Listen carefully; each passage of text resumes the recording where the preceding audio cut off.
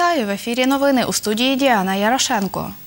Сьогодні о 10-й відбудеться судове засідання у справі закриття загальноосвітньої школи 1-2 ступеня в селі Підлісне Монастирського району. Про це повідомила голова батьківського комітету цієї школи Наталія Лусан.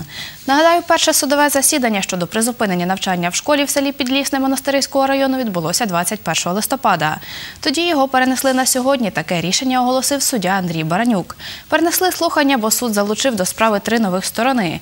Зі сторони відповідача монастирського відділу освіти залучили представників Держпродспоживслужби і рятувальної служби. Вони, за словами відповідачки Любові Николаїшиної, виявили у цій школі порушення, що стало однією із причин призупинити навчання. І зі сторони позивача суд залучив представника Підліснянської сільської ради. Судиться батько учениці Підліснянської школи Монастирського району Юрій Роман з районним відділом освіти. Він не згідний з рішенням закрити цю школу. Позов до суду чоловік подав 25 вересня. За словами начальниці районного відділу освіти Любові Николаїшин, навчання призупинили, бо у школі станом на цей навчальний рік було 32 дітей і троє вчителів. За словами Ольги Хоми, до початку цього навчального року на Тернопільщині призупинили навчання в 11 малокомплектних школах. Для шкіл першого-другого ступеня, як у Підлісному, малокомплектність – це менше 40 учнів.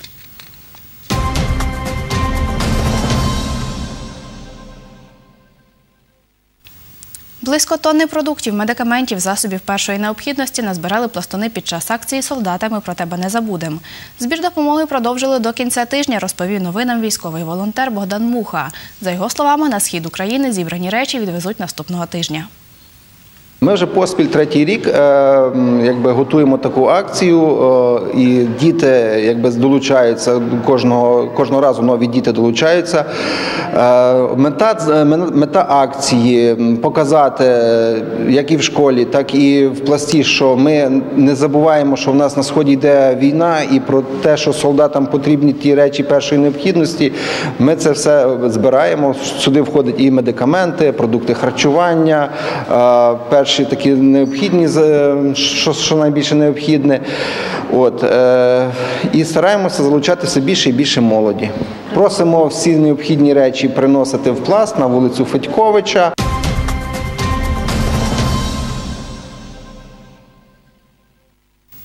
На Тернопільщині запрацювали перші два цілодобові пункти обігріву. Це стаціонарні пункти у Мишковичах і Великих Бірках Тернопільського району. В одному з них побувала наша знімальна група. Позаду мене Великобірківське стаціонарне відділення Тернопільської районної лікарні. Тут знаходиться один із пунктів обігріву. Він розташований на другому поверсі. Перед тим як потрапити до пункту обігріву, люди звертаються у приймальне відділення, каже працівниця цього відділення Галина Пастух. Якщо до нас поступає така людина, ми кличемо чергового лікаря. Черговий лікар тоді дивиться, оглядає його. Я оглядаю, дивлюся, чи є підікульоз, чи треба, є часом, що треба помити. Миємо, обробляємо. Черговий лікар дивиться, яку допомогу треба надати, і тоді вже в пункт обігріву. Цей пункт обігріву розрахований на п'ятьох осіб, каже заступник головного лікаря з лікувальної роботи Віталій Сахан. За його словами, тут можна випити чай із печивом, є ліжка і шафки, куди можна покласти речі.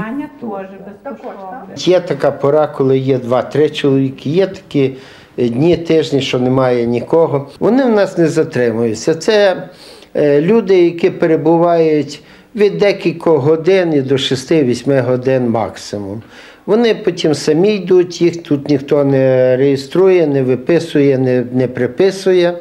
Загалом в області є понад 190 стаціонарних пунктів обігріву, каже заступник начальника обласного управління цивільного захисту Володимир Фаріончук. За його словами, вони запрацюють, коли середньодобова температура по області буде нижче 10 градусів морозу. В кожному районі визначені місця пунктів обігріву, які з настанням холодів будуть е, функціонувати в робочому режимі. Будуть працювати в області соціальні патрулі, які будуть виявляти тих, кому потрібна допомога е, при низьких температурах. За словами синоптика обласного гідрометцентру Оксани Софінської, середньодобова температура до кінця тижня буде від 1 до 3 градусів морозу. Найближчий час ми очікуємо, що найхолодніша ніч буде ніч 4 е, і 5 грудня. Ми очікуємо зниження температурних показників до е, мінус 5, мінус 7 градусів. Анастасія Чичко, Андрій Прокопів. Новини на Суспільному. Тернопільщина. За словами заступника головного лікаря Великобірківської лікарні Віталія Сахана, до їхнього пункту обігріву ще ніхто не звертався. І ще один стаціонарний цілодобовий пункт обігріву у Тернопільському районі розташований у Мишковичах у геріатричному відділенні центральної районної лікарні, що на вулиці Надрічна, 23. Це вся інформація на цьому. Ви дивились новини. Для вас працювала Діана Ярошенко. На все добре.